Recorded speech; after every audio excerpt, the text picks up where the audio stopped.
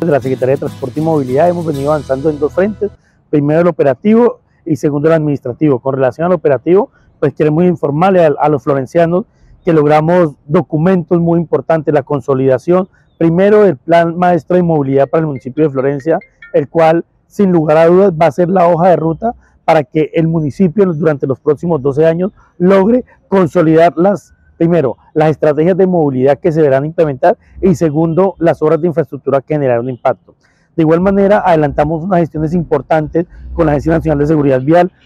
Hemos conseguido que la agencia le done a la Secretaría de Transporte y Movilidad una demarcación en algunos puntos críticos de la ciudad, demarcación que se va a ejecutar a partir de enero del próximo año.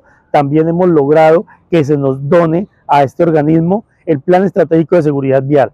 Este no, es un documento que nos permitirá identificar los puntos de accidentalidad y las acciones a tomar en estos aspectos.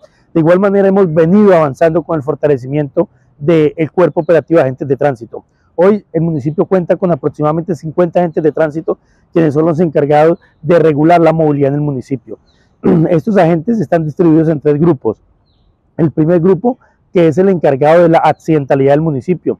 Ellos son técnicos en seguridad vial, también algunos son técnicos o tecnólogos en criminalística y hay otros que se han capacitado en reconstrucción de accidentes. Tenemos un segundo grupo que es el encargado de llegar a las comunidades con capacitación en normas de seguridad vial y un tercer grupo que es el encargado de hacer las intervenciones en regulación y operatividad. De igual manera hemos logrado consolidar la Secretaría de Transporte y Movilidad como una de las más eficientes en temas de recaudo y expedición de licencias de conducción.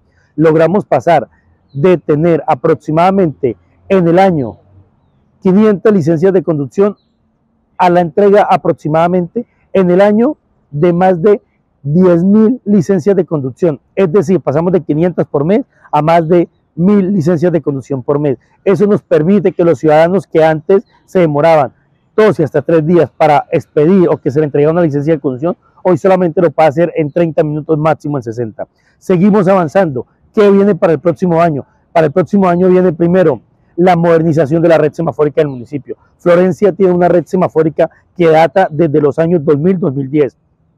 Es una red semafórica que ya a la fecha se encuentra obsoleta. Por eso en algunos sectores la red semafórica lo que hace es generar traumatismo en la movilidad.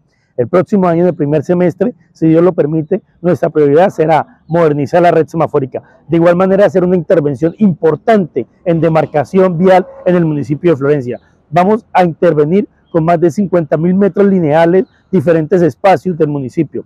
Y por tercero, en, tercer, eh, digamos que aspecto para el próximo año, es el fortalecimiento de nuestro cuerpo operativo. Queremos entregar a la próxima administración unos agentes de tránsito capacitados, consolidados, pero también con la infraestructura necesaria para operar.